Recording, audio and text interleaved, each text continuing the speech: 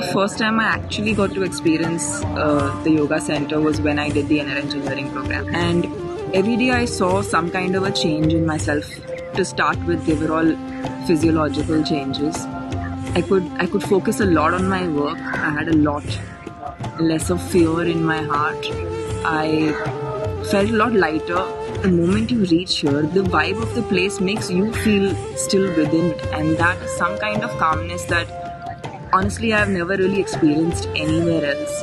What it feels like to be in the Dhyanalinga is just is just you are there and you're in that you're everything kind of dissolves. Time, you, everything dissolves and you're just there.